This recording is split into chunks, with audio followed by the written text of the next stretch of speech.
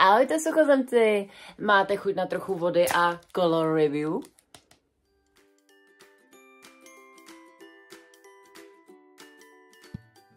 Takže v poslední době je trend dělat oslavy, na který odhalíte pohlaví svého dítěte.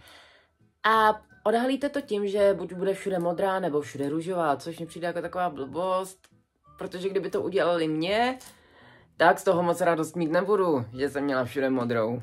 A zároveň tím prostě jakoby vnucujete ty stereotypy genderový a tak, takže to moc nemusím. Jediná color, color review, kterou já mám ráda, je tahle ta od Matela.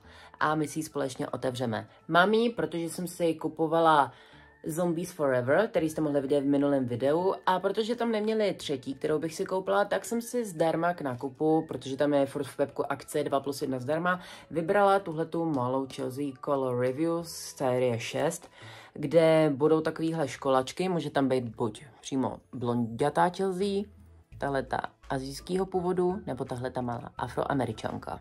Vůbec nevím, která tam bude. Zkoušela jsem se najít nějaký kódy, abych si tomu mohla nějak jakoby hacknout, ale nic jsem nenašla, takže bude prostě překvapení, která tam bude. A upřímně doufám, že tam bude buď ta Aziatka nebo ta černoška, protože blondiatou Chelsea už mám a prostě já mám ráda ve své sbírce rozmanitost.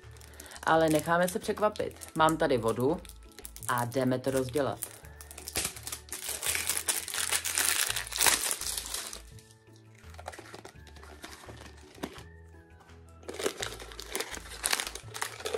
Mám tady spoustu sáčku s překvapením a tady máme návod.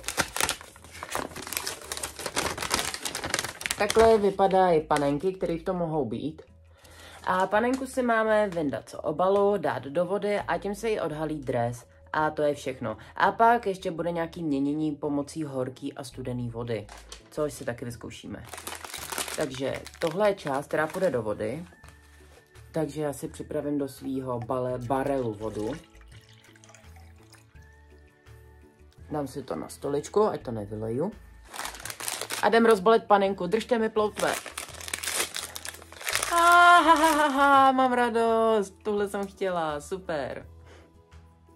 Takže jak vidíte, má celý obleček takhle růžový, taková kombinéza.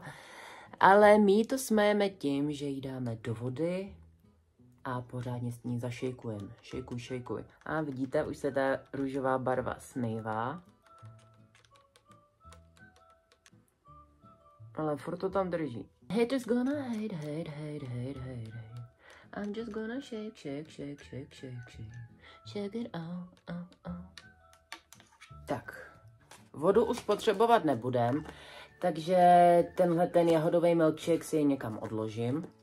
Panenka vypadá takhle, má na sobě 59, což je reference na rok, kdy byly panenky Barbie vydány, což je cute. A teď si jdeme rozbalit malý překvápka. Začneme tímhletím malinkým v zeleném sáčku. A v tom máme pro panenku botičky. Jsou to takovýhle vysoký fialový boty na platformě. Tak je panence obujem.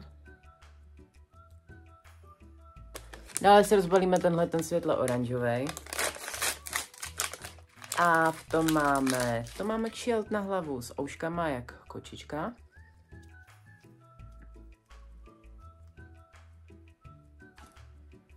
Rozbalíme si další tenhle ten světle tyrkysový, co v něm asi bude, díváme se. A máme v něm, co to je? To je ledvinka. To má jako do školy chodit s ledvinkou, když jí tam nic nevejde. Máme tady poslední sáček, fialový, kterém máme fialovou sukínku. Takže ji panence navlíkneme a tím ji budeme mít komplet hotovou. Já jsem v tom pepku byla s mamkou a prostě jsem jí říkala, kterou bych si přála a kterou bych nechtěla. A mamka mi řekla, tak si vem tu vzadějš, jinak tam budeš mít to, co nechceš. No a hele, jak nám to hezky vyšlo. Mám to, co jsem chtěla. Kdyby tam do těch barelů bylo vidět, tak si vyberu tohle. Takže mám radost, že prostě se mi povedlo vytáhnout tu, kterou chci. Upřímně jsem tomu vůbec nevěřila. Ale jsem ráda. Tahle panenka by stála asi nějakých 280 korun a jelikož jsem si tam ty Zombie Forever koupila dvě, jednu za 300, takže tudíž tahle byla zadarmo. A zadarmo se mi moc líbí. Asi tyhle ty menší sbírat nebudu. Já, když jde o tyhle Chelsea, tak já mám nejradši Chelsea jako morskou panu. Ale tyhle ty Color Review jsou taky rostomilý. Jsem ráda, že nemá plastový vlasy, protože Color Review, který měli plastový vlasy, to byl strašný trash to byl hrozný odpad, vůbec se mi to nelíbilo, byly to strašný, ošklivý, nekloubový panenky, co na sobě neměli kousek vlasu ani látky, byl to samý plast a bylo to úplně odporný. Promiňte matele, ale tohle bylo prostě odporný. Ale od té doby, co začali dělat color review mořský pany, který prostě jim odhalíte jenom ty ploutve a byly prostě, že každá měla jednu barvu duhy a byly prostě strašně krásný, tak úplně u mě zabudovali. Už ta první série Morských panen se mi strašně líbila. Takže se Color Review Barbie docela zachránili. Teď se dělá strašně moc Color Review setů. Máte takový obrovský set ve tvoru nějakého ovoce a prostě to tam rozbalujete. Ale ten nápad Color Review podle mě spíš přišel od MGA, kdy začali dělat LOL panenky, protože to byly LOL Surprise. A Mattel tenhle ten nápad trošičku šlohnul a zároveň šlohnul i Rainbow High nápad, neboť, jak jsem říkala, tak ty panenky se začaly vyrábět v různých barvách duhy. Pak byly ještě Barbie Color Review, který měly pláštěnky, který měly i barvu vlasů stejnou s oblečením, což prostě volá Halo, Rainbow High. Takže tohle Mattel trošičku šlohl ale zase nechci se do toho nějak nímirat, protože to, co si Mattel a MGA od sebe vypůjčilo navzájem, je hodně případů. Veme si třeba takový brec panenky, který se nelíbily Mattelu a nakonec udělali řadu majsín, která je taky prostě panenky s velkou pusou a velkýma nohama. Takže prostě vždycky vymyslí nějakou pecku buď jedno a to druhý to okopčí, ale zase na druhou stranu, když Mattel přišel z Monster High. Tak MGA bylo trošku v háji a tak se pokusili udělat něco podobného a udělali Brad sestřenice, který se jmenovali Bradzillas. Nic moc. Jestli by vás takhle o historii dalších panenek a značek zajímalo víc, dejte mi vědět a ráda o tom udělám video. Ale to by bylo všechno. Chtěla jsem vám jen takhle říct můj názor na color review panenky a tak. Tak se mějte krásně suchozemci, doufám, že se vám panenka líbí a mějte se fanfarově. Ahoj.